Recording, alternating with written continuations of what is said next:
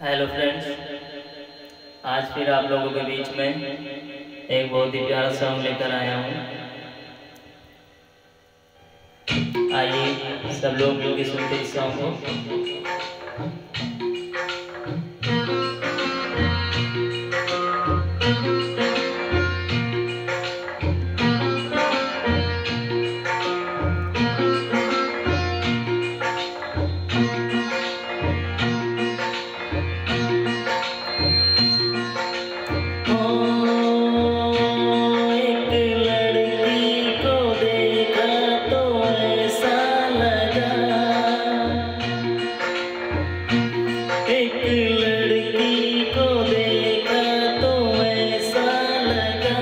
जैसे खिलता गुलाब, जैसे शायर का ख्वाब जैसे